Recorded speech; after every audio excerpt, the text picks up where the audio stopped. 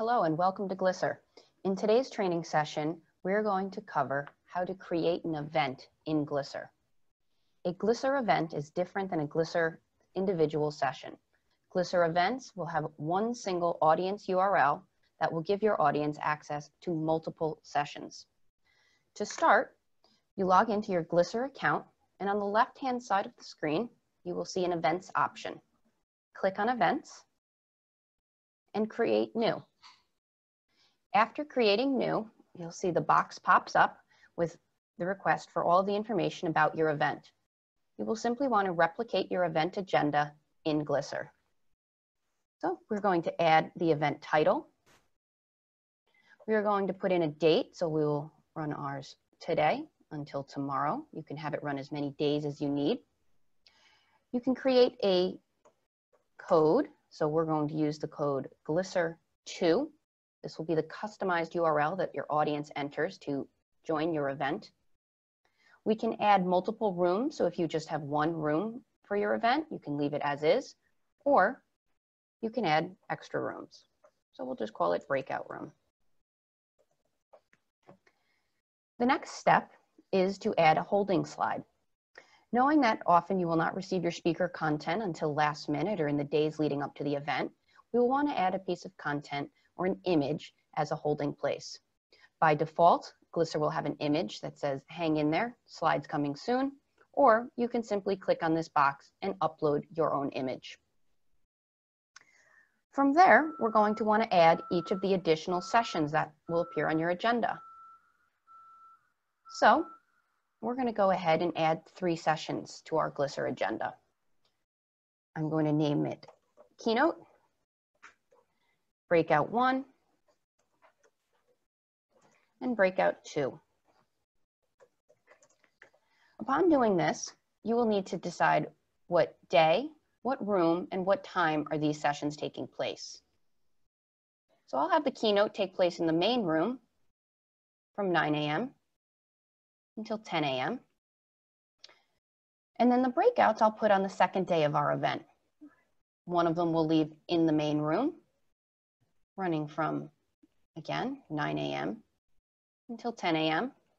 And the second one, we will also move to the second day, but let's put this one in a different room and we can run it at the same time. This will allow you to have multiple sessions running concurrently in Glisser. So we have now created our event. We've uh, inserted the days, the times, the rooms. We've added a holding slide and we've created our sessions.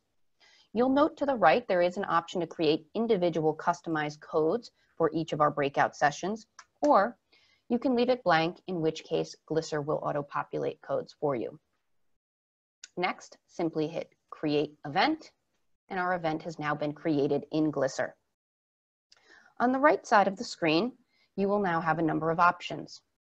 First, let's go to our interactive settings about halfway down the screen on the right side. And you can do your settings at the event level. So you can decide, do I want Q&A on or Twitter or download features? You can password protect the sessions or turn on email capture. So you can turn all of these settings on or off at the event level and you can lock them so that no one can make any further changes. If you leave lock off, you do also have the option to change settings at the session level. So we simply would click add sessions. You'll notice our event dates will appear at the top in the rooms. So if I wanted to make an adjustment to our keynote session, I would simply go to day one in the main room and I'd click on keynote. From here, you can go to edit on the right-hand side and make any of the necessary adjustments. So that's how you create an event in Glisser and edit any of the sessions uh, that you have associated with that event. If you'd like to see more on how to edit individual sessions, please click on the Glisser training link in the description below this video. The next thing I'd like to show you is how do we add new sessions to an already created event? Well, to do so, we go back to the presentation dashboard. So this is where we first logged in and we will want to then make sure a session has already been created. So if you've already created a session, it will be uh, listed here in the main dashboard, or you can follow the directions in the additional training video listed below to learn how to create a new session. But once that is complete, we just go back to the event tab. We click on the event that's already been created. We go to add session and our agenda will appear. So if I wanted to add a new session to this already existing event, I would simply pick what day do I want to add the session, what room do I want to add the session, and then I would decide on the time. And as soon as I click on the appropriate day and room, you will notice that the sessions that are available to be connected to this event will appear on the right side. So we have a session that's not yet associated with the event. We simply click on it, decide what time it should take place, and click Add Presentation. This session has now been associated with this event at the appropriate day, time, and room. The next step is to actually push our event live and allow our audience to interact with it. If I just go back to the main room and our keynote session, I can click Present and move our session into full screen. The event URL will now populate on the screen for everyone to see in the audience.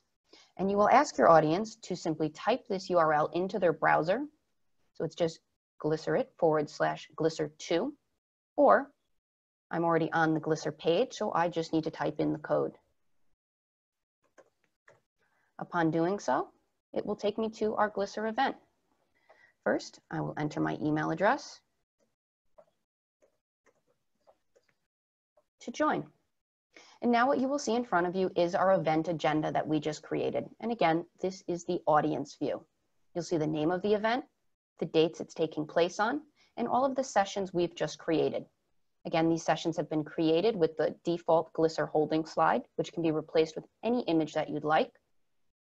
The image of the slide will appear first. Below that will be the name of the session, the date, the time, and the room. You simply instruct your audience to click on the appropriate session, and from there they can interact. Thank you for joining our Glisser training session on creating an event. And we look forward to you joining us for our next training session.